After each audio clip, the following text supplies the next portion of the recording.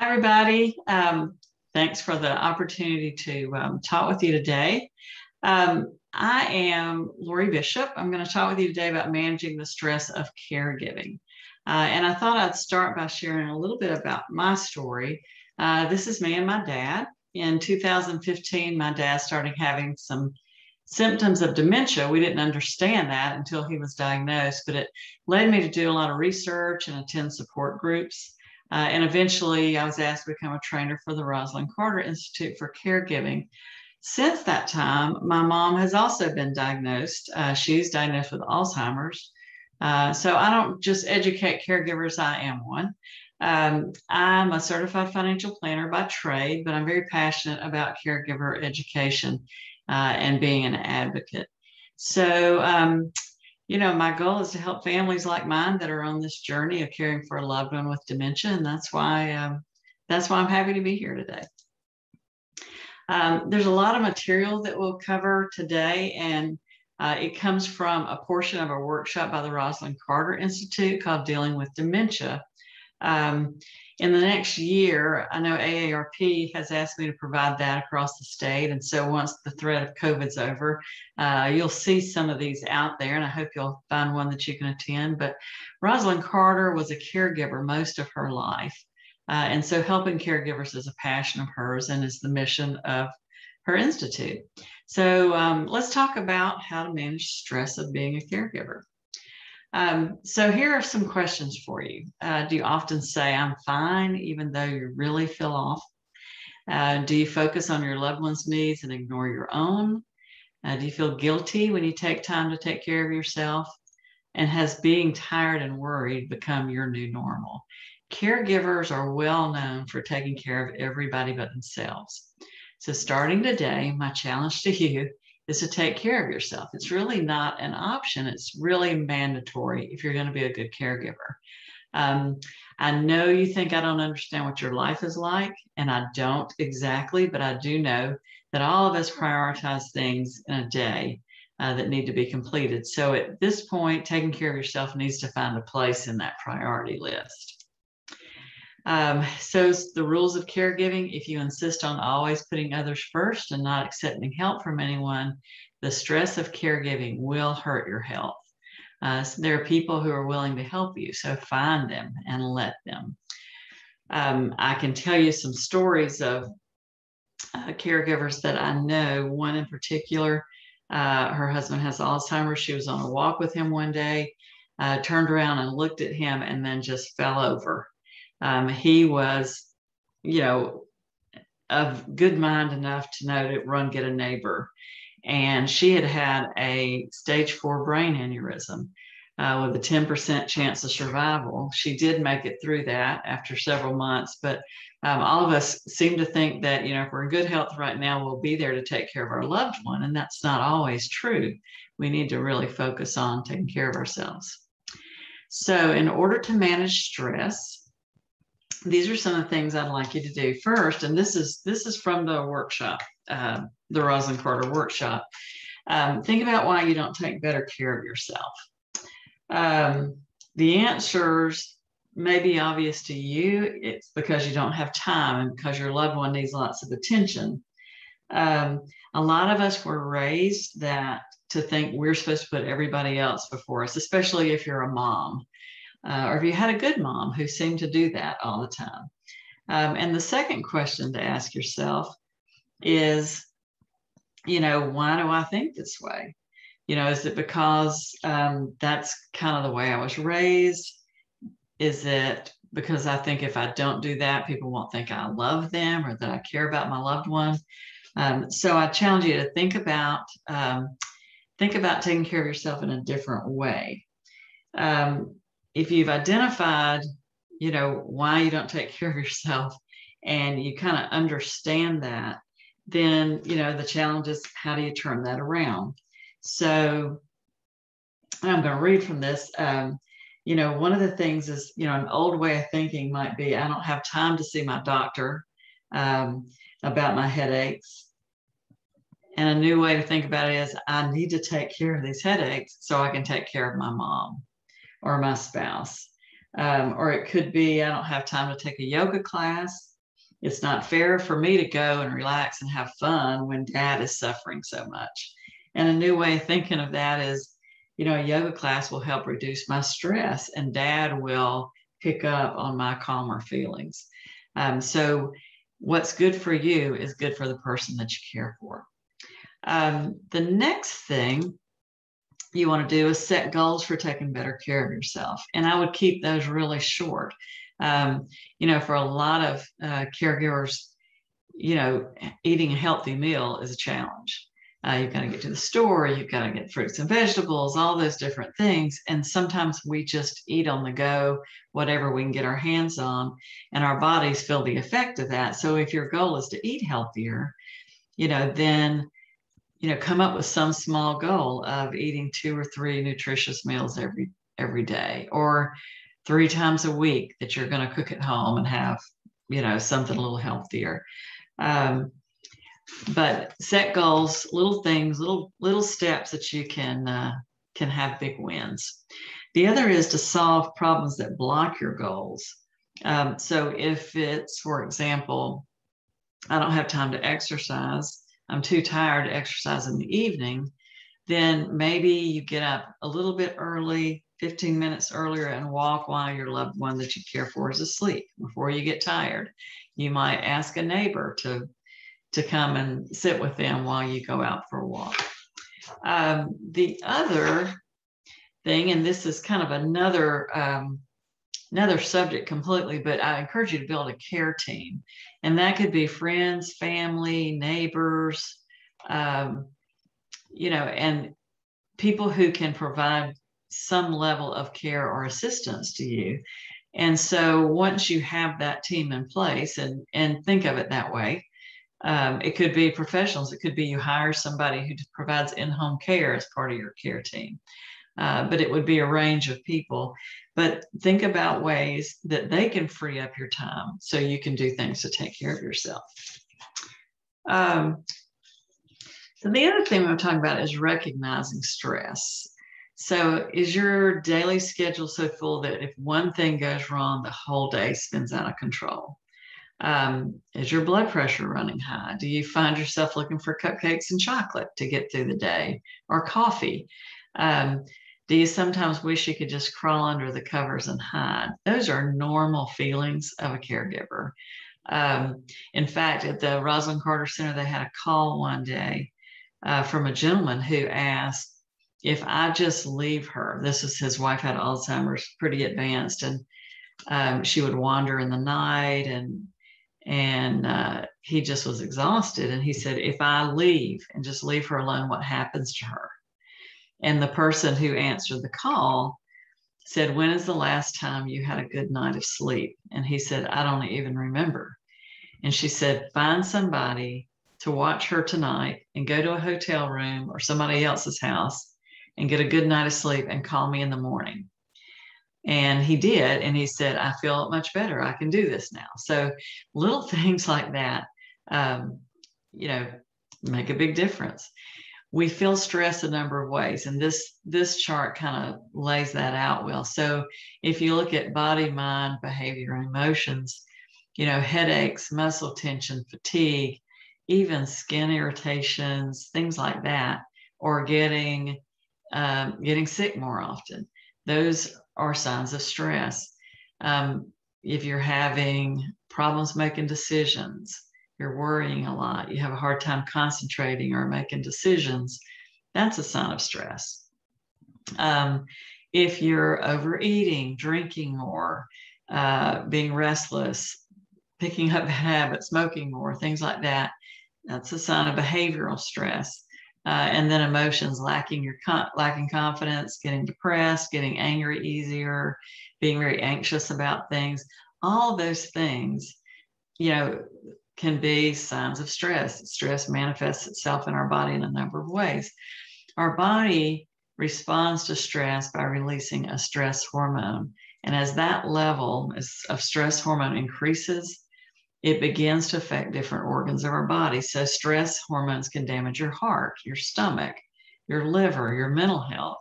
So, replacing unhealthy coping strategies with healthy stress management is really key to maintaining our health and being good caregivers. Um, so if we were in a workshop, I'd put these up on the screen and have you shout out, is this a healthy or unhealthy way of handling stress? But let's just look at these. Um, this obviously starting to drink is, is probably not the best way to handle stress. There are more productive ways. Um, eating well, eating a salad, eating something light uh, instead of something heavy and sugary that bogs us down. Um, you know, laying around on the couch, not you know getting up and taking care of yourself and and uh, starting your day with a shower or something that makes you feel refreshed uh, is another negative way of handling stress.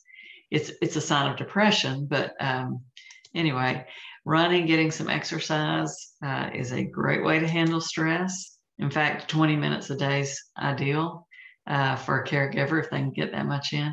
Uh, sticking your head in the sand uh, this is kind of a funny picture, but you know, some of us just don't want to deal with what's going on, and that's not a healthy way either. I mean, we're going to have to deal with it one way or the other. We've got to find a positive way to do that.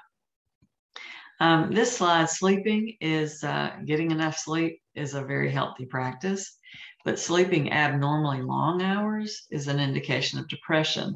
Uh, it's kind of one of those acceptable ways to hide from stress rather than face it. Uh, so I encourage you to get lots of sleep, but um, but not end up on the couch like our earlier picture. Um, for a lot of us, food is comfort. Um, and so we turn to food when we're stressed. I am one who has a hard time with that. Can't, if I start eating candy, I know what is causing me to feel this way. I don't need to be doing this, you know. So, so you really have to think about it. Um, and then um, releasing stress is a good thing, but if you get get to the point where your smoke's coming out of your ears, you probably have gone a little too far. Uh, but it is good to vent and find places that you can talk and get things out of your system. Uh, and lastly, you know, some type of group exercise, socialization. Um, there are all kinds of um, exercises for for seniors, folks who don't exercise a lot you don't want to take up a Zumba class all of a sudden, but you want something. And and I find that stretching, just sitting in a chair like this and stretching is very helpful. So uh, a great way to reduce stress.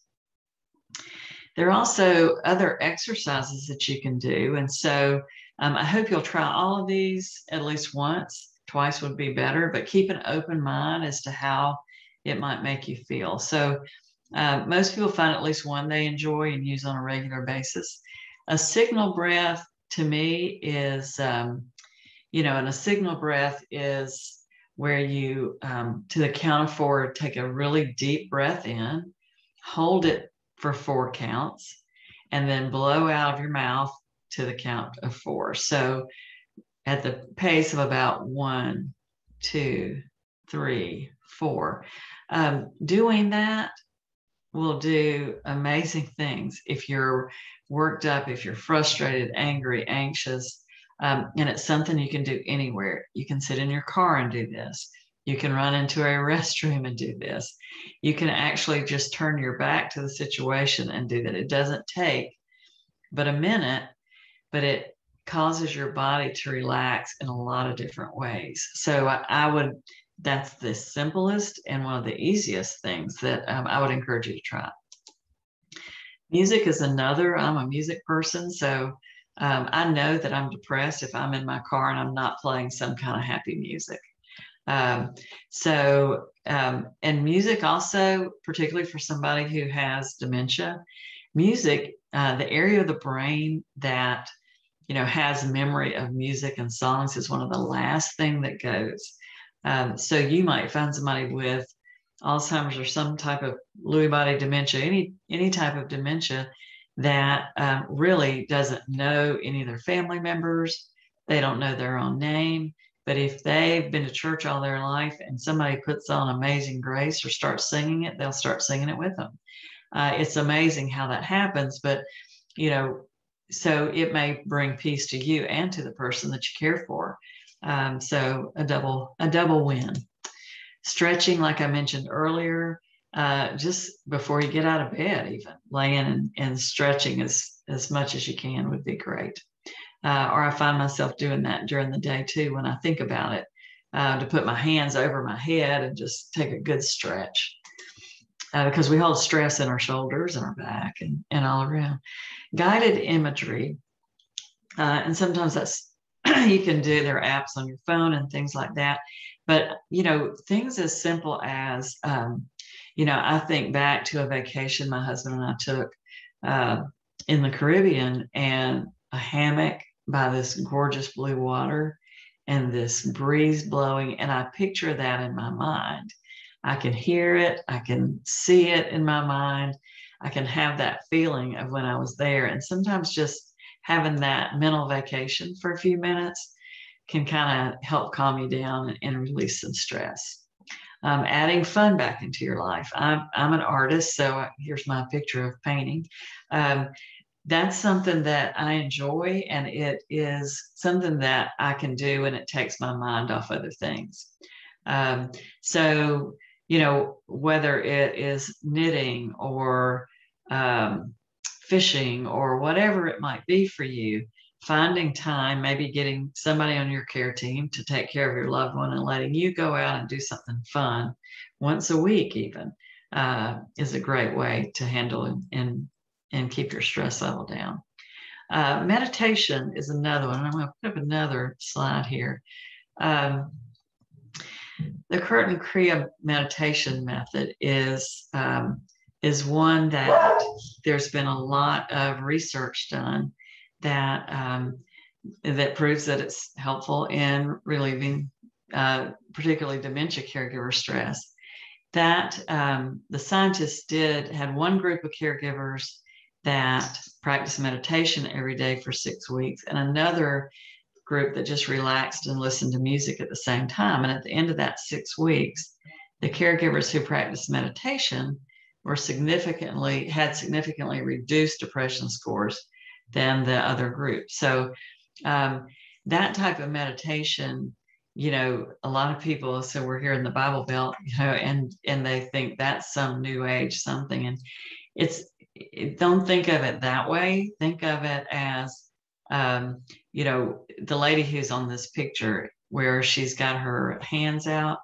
Basically, you take your thumb and you touch each of your four fingers, and you um, in, in the original meditation program, there are syllables that you say, but um, you can say, Peace be with me, let love guide me, um, you know, help me calm down. There's all, but four words that you can say over and over that will help you um, focus on your breathing and take your mind off other things.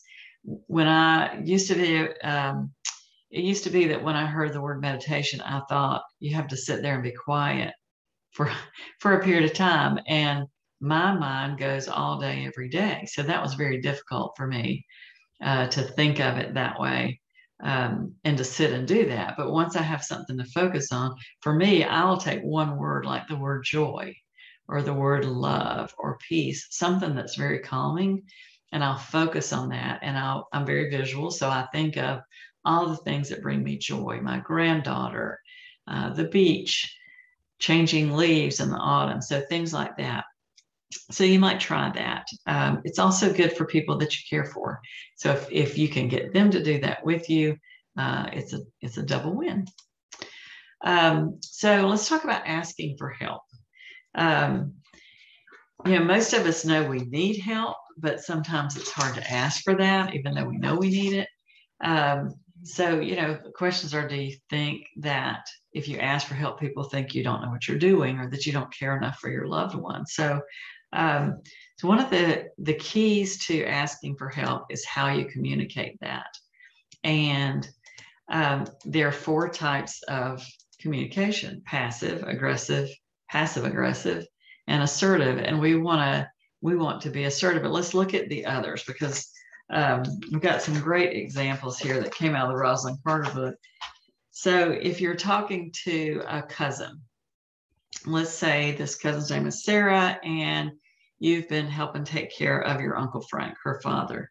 Um, so if you went to Sarah and you said, I know you're too busy to help with your dad, Sarah. do what you can. I'm already taking care of Uncle Frank 24 7, so no worries. That's very passive. I mean, basically, you're coming across as being unimportant and submissive, and being passive doesn't get you what you need or what you want. People will feel like they can walk all over you and ignore what you say, so they don't even bother to to listen or ask what you need or what your opinion is.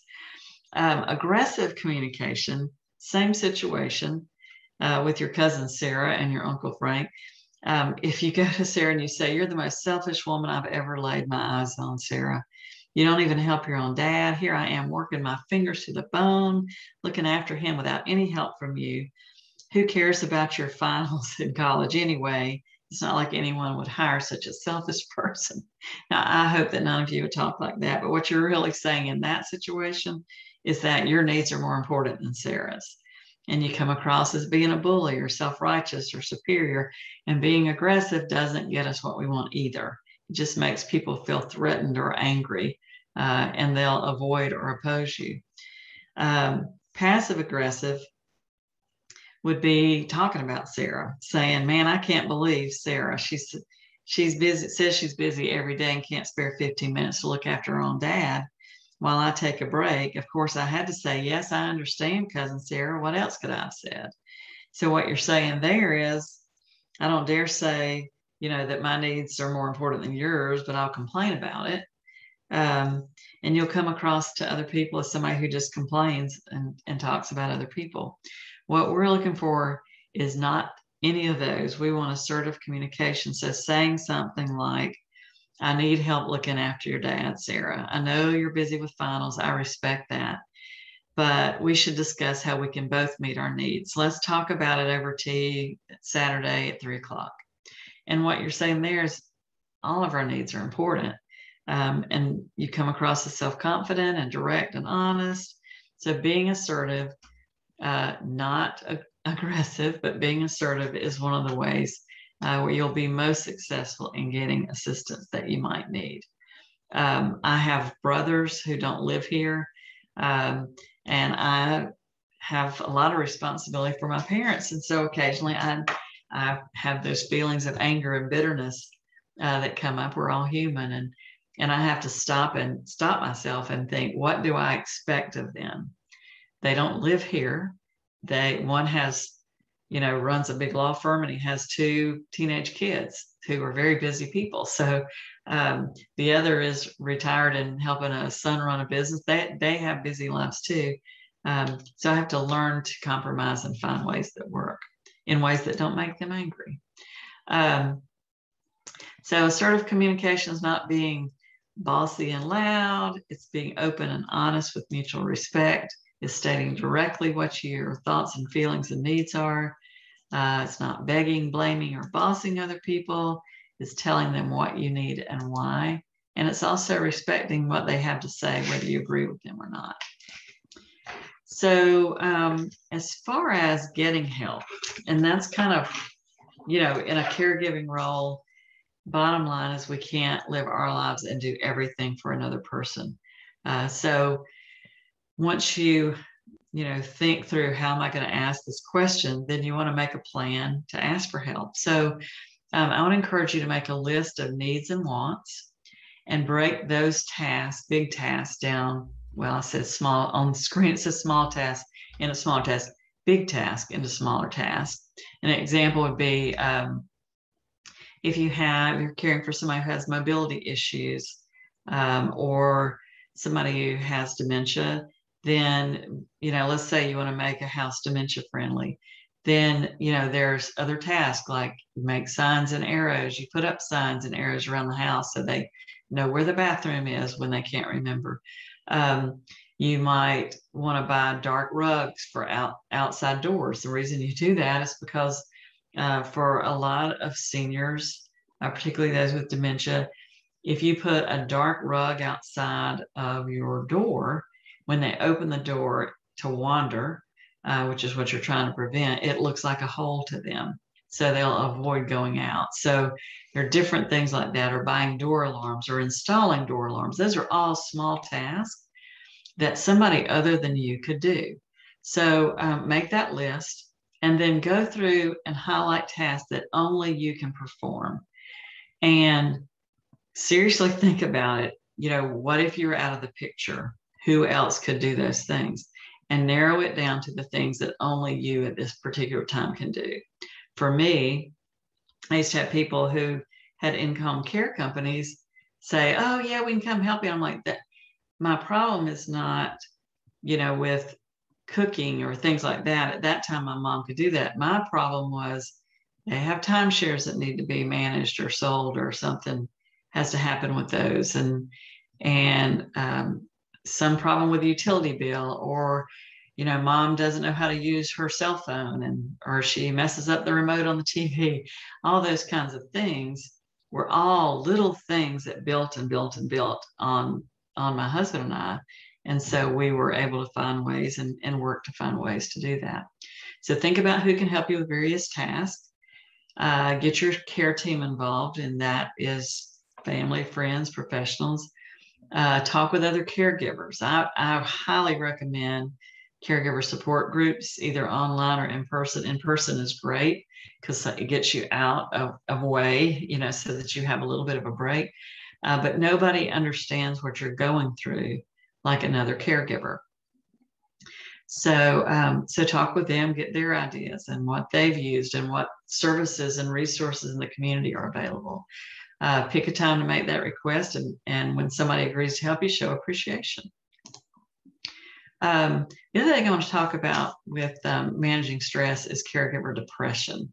Um, you know, a lot of caregivers feel hopeless, they get irritable, impatient, uh, they just quit, they lose interest in doing things that used to be fun to them. Um, you know, if you've been sad more than two weeks, if you just really are not yourself, then you may have clinical depression. And that is very, very normal in the world of caregivers. So, um, so it's something that you don't want to just continue to ignore. Uh, it's not something that we can just hope goes away and, and magically it will because you know most of us are dealing with a progressive situation not always something that's going to get better quicker uh, for those of us dealing with dementia you know, looking ahead is it's only looking at it getting worse. Uh, and that's really hard to deal with if you don't find ways to do that. So, um, you know, a lot of people don't, you know, want to take medication. Uh, medication a lot of times helps. So if you talk with your doctor, they might uh, suggest something and try a few things to see if that will help.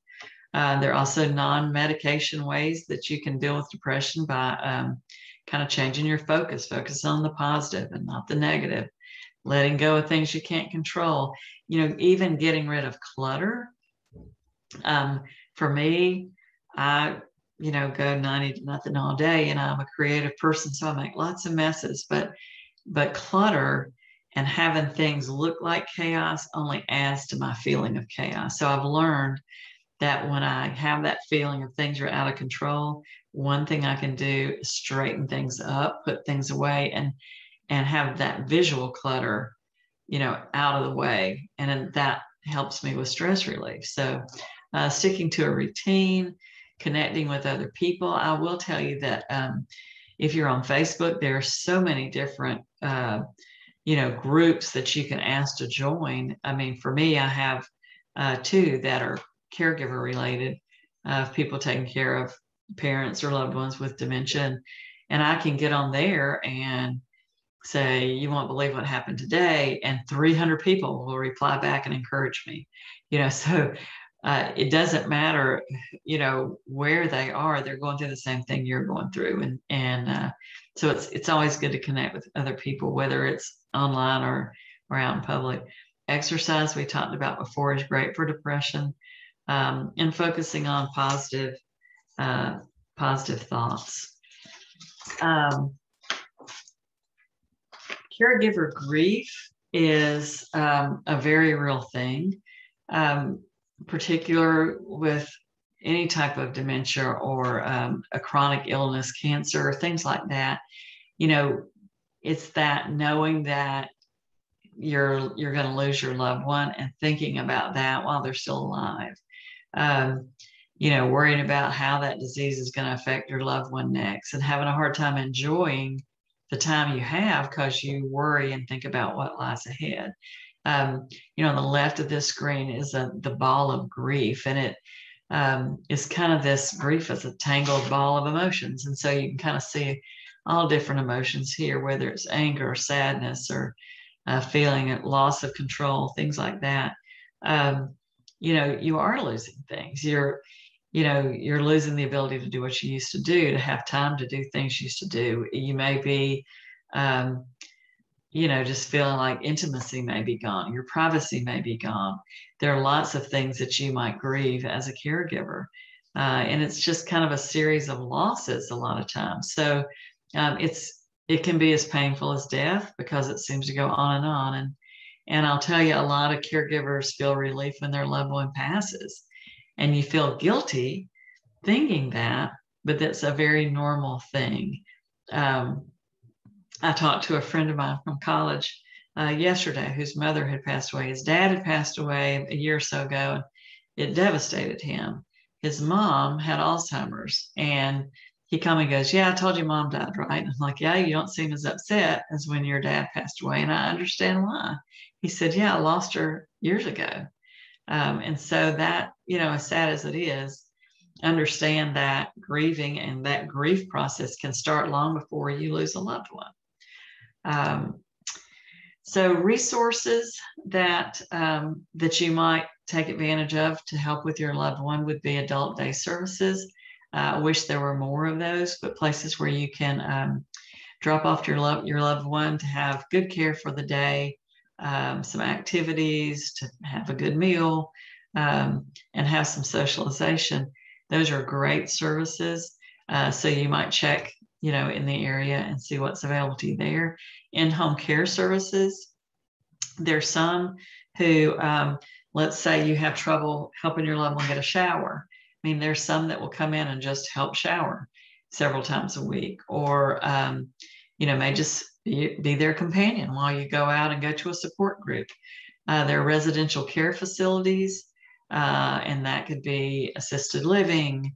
Um, it could be could be nursing home care. It could be a rehab center. Um, there's also hospice care. Palliative care is another one. Uh, and don't think of hospice care as if I call in hospice, that means, you know, my loved one's about to die. That's not true. Uh, most people I know who call in hospice say, I wish I had called them six months ago uh, because they come in and they they minister to all the needs of that hospice patient. They, you know, spiritually and, you know, from an emotional standpoint and physically and and their goal is to help them have the last you know months of their life. And sometimes it lasts two or three years. People can re-up hospice. Um, it just calls for a terminal diagnosis uh, which you know many many people have.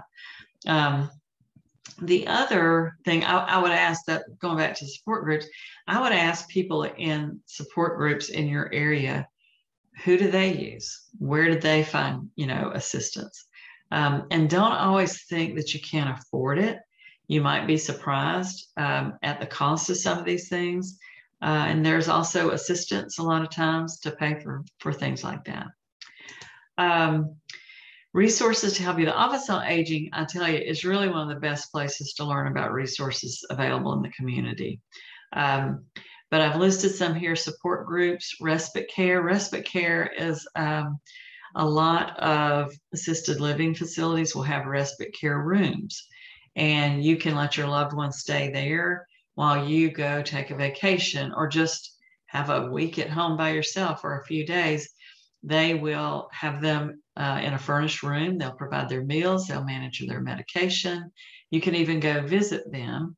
Um, and sometimes, you know, we've had people who would take their loved one to respite care when they picked them up they say i want to stay here i made some friends so it's you know i did that with my dad and it was kind of hard because i thought does he think i'm leaving him here forever um, and he actually did very well so um, education there are lots of opportunities for education um, you know, this program uh, that you're in today, Alzheimer's Tennessee has a number of programs, AARP has a number of programs.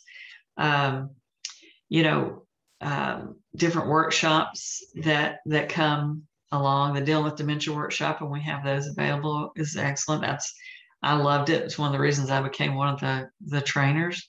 Um, you know, your care team is another resource for you.